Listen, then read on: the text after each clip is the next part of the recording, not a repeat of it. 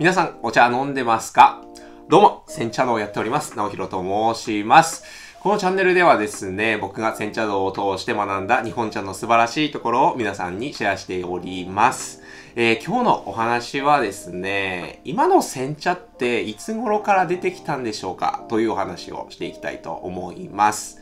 えー、煎茶ですね。まあ、緑色のあのお茶ですけども、あれって、あのー、今だったらもう、スーパーとかコンビニとか、あと街のお茶屋さんで茶葉買って飲んだりとか、あの、気軽にできると思うんですけども、あれってね、いつから出てきたんだろうかってね、考えたこともない方結構いらっしゃると思うんですよ。で、茶色っって言えば、あの、英語で言うブラウンじゃないですか。えー、なのに、今のお茶って言ったら、まあ、緑色じゃないですか。だから、もともとはですね、まあ茶、お茶って茶色だったんだろうかなっていうのは、なんとなくそこから想像できると思うんですけども、そのイメージをですね、ガラッと変えたのが、まあ、長谷宗園さんというですね、まあ、京都でですね、こう、茶、お茶を作っていた方がいらっしゃったんですけども、その方がですね、1738年、まあ、江戸時代の中頃ですね、えー、えっとですね、青製煎茶製法というですね、まあ、摘んだ茶葉をですね、一気にこう蒸してですね、発酵を止めてしまって、で、乾燥させて、で、お茶葉にするというですね、まあ今のあのお茶の作り方の基礎となるものをですね、えー、この長谷宗園さん作ったんですけども、それによってですね、あの中その茶葉から抽出したあのお茶がですね、まあ、緑色だぞと。そういう風なですね、画期的な技術を発明したんですね。で、これがですね、まあ京都だとなかなかちょっと受け入れられなかったそうなんですけども、まあ江戸に持って行ったら、あなんか粋だね、みたいな、そういうので、なんかこう受けたみたいで、で、そこからですね、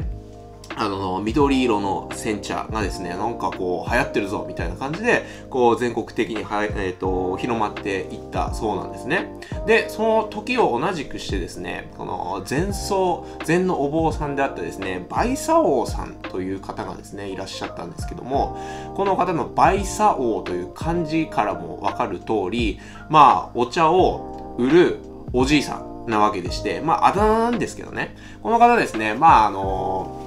お茶の道具を持って行って、こう街を練り歩いて、まあなんか良さげな、景色が良さげなところで、まあ、あの、腰を下ろしてお茶会やりますみたいな感じで、まあいいよいいよ、どうぞどうぞ、みんな来て、ただでもいいよみたいな感じで、こう、街の人なんですね、こう、おいでおいでって言って、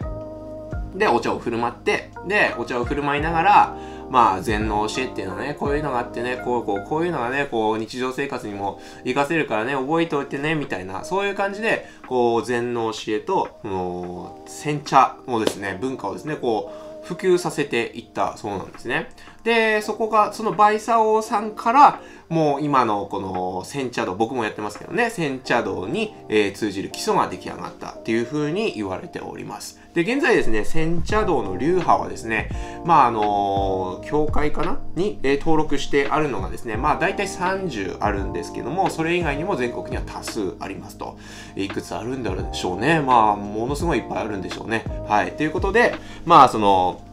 煎茶道としても、まあ、煎茶道じゃなくても、日本の、えー、前、基本、なんだろうな、毎日お茶を飲むというですね、そういう文化がですね、そこからですね、もう一気にこう、花開いていったっていう感じでした。という感じですね。そして、まあ、今に通じる、えー、お茶文化ができたということだったんですけども、でね、今ね、あのいいんだか悪いんだが、いいとこもありますよ。そのペットボトルのお茶がですね、今から30年ぐらい前にですね、えー、登場しまして、お茶っていうものが、こう、持ち運べるように、えー、なったっていうのはね、いいんでしょうけども、なかなかですね、あのー、ペットボトルのお茶っていうのは、飲めますよ。飲めますけども、あれは本当、本来のお茶の味ではないっていうのがですね、やっぱりね、なかなかね、ここを頑張って普及、あの、伝えていかないといけないなっていうところですけども、ぱりお茶ですね、茶葉でね、急須で入れて飲まないと、絶対美味しい味出ませんから。あれをですね、その味をですね、もう僕はこの YouTube を通してですね、えー、一人でも多くの方にですね、伝えていけたらいいなというふうに考えておりますので、このような、えー、煎茶のお話をさせていただきました。いかがでしたでしょうかね。ちょっとでも、まあ普段は煎茶飲まないけど、あの、急須で入れて飲んでみようかな。って思っていただけましたら幸いです。はい。ということで今日はこの辺にしたいと思います。えー、最後までご清聴ありがとうございました。